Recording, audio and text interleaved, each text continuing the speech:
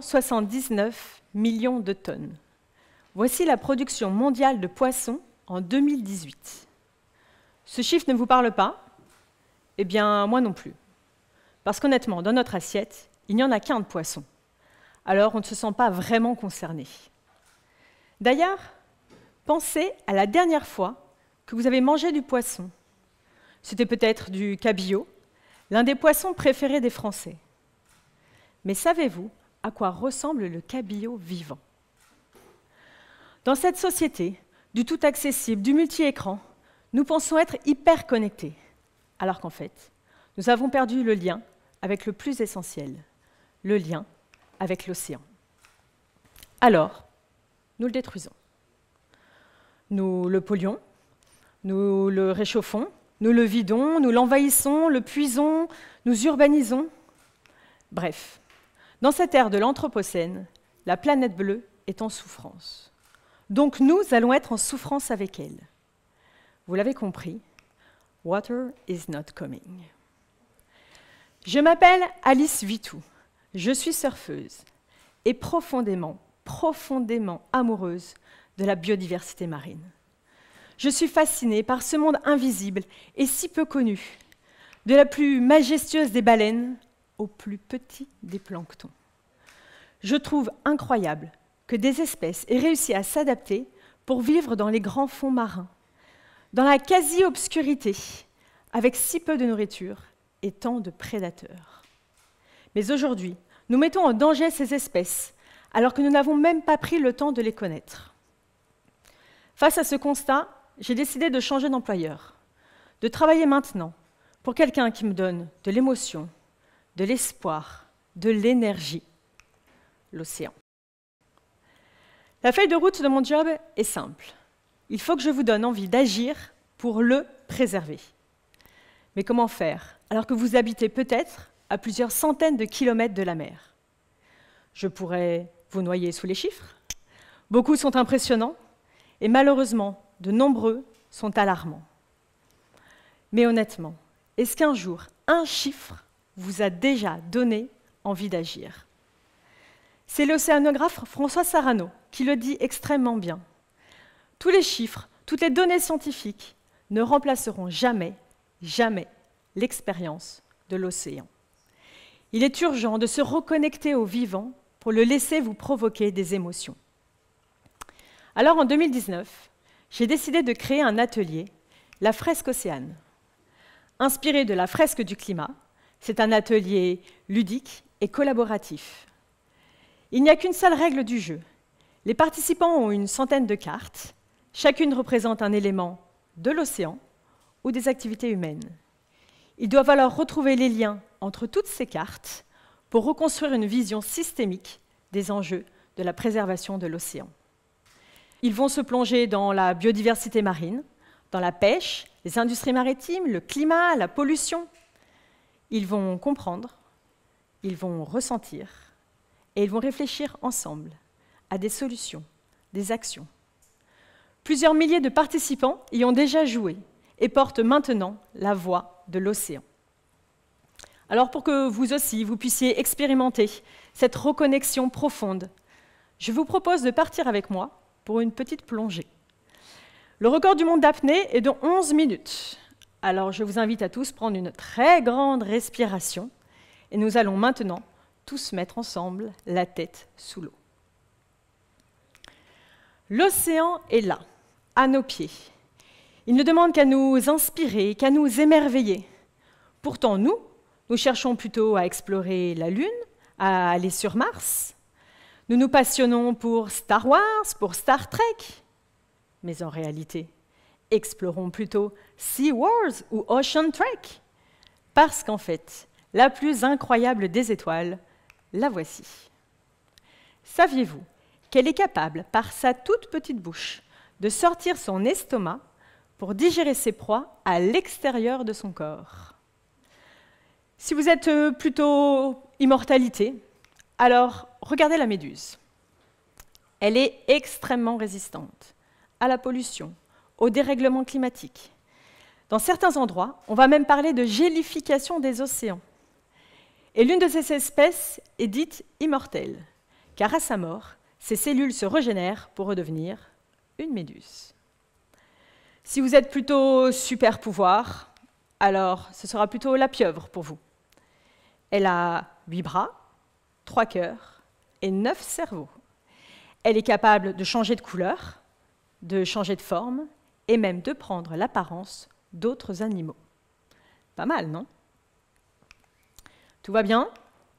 Alors on continue et on explore l'océan un peu plus profond. L'océan est partout chez nous. L'océan est à la base du cycle de l'eau. C'est l'eau que l'on boit, l'eau qui sert à faire pousser nos aliments, l'eau qui sert à laver nos maisons, nos cuisines, nos salles de bain, l'eau qui permet de produire nos vêtements, nos voitures, nos téléphones. L'océan est omniprésent dans notre société. Pourtant, nous ne le voyons même plus. Et l'océan, ce n'est même pas que de l'eau ou des poissons. Regardez par exemple. Ici, vous voyez une ville? Moi, je vois l'océan. Car en fait, le sable que l'on utilise pour construire nos maisons, nos immeubles, ce n'est pas du sable des déserts, mais bien du sable des fonds marins. Et ici, vous voyez une station-service? L'océan à nouveau, car un tiers de notre production de gaz et de pétrole provient d'extraction offshore. Ici, des médicaments, votre pharmacie?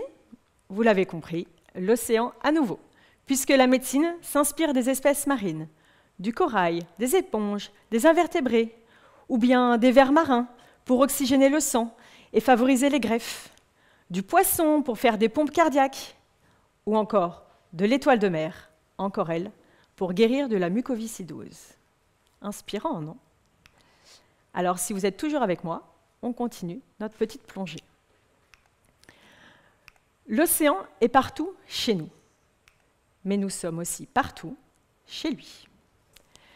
Si je vous dis que vous portez en ce moment même sur vous l'une des pires causes de pollution des océans, ça vous intrigue, non?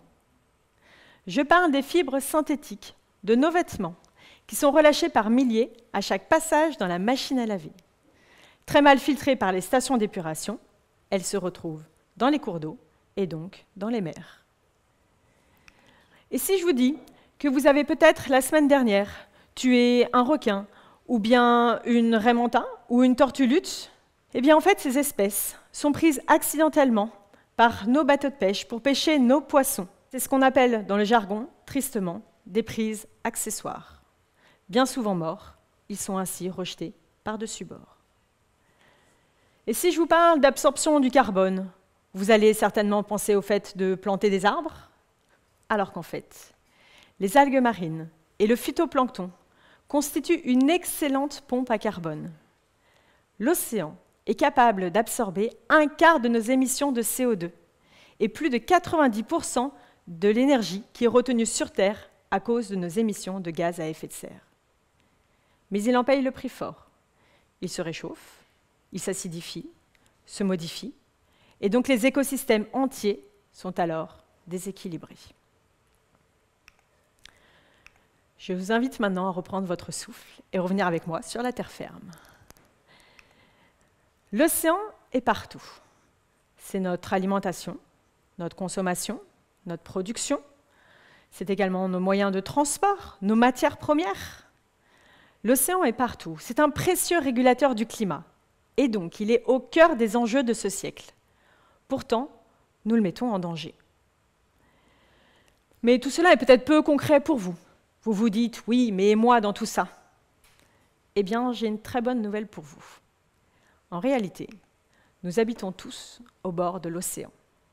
Oui, bon, d'accord, peut-être pas cette maison-là, mais quand on y pense, notre maison, notre entreprise, notre collectivité, notre école, tout est relié à l'océan, de manière directe ou indirecte. Donc, en fait, chacun de nos gestes a un impact, positif ou négatif. Alors je sais que vous n'allez pas, dès demain, vivre sans vêtements pour arrêter de polluer l'océan de nos fibres synthétiques. Et je sais que l'humanité ne deviendra pas végétarienne dès demain. Mais quand on y réfléchit, si à partir d'aujourd'hui, vous achetez un maximum de vos vêtements en seconde main plutôt que neuf. Ça fera donc moins d'extraction de matières premières, moins de transport, moins de pollution, moins de consommation d'eau.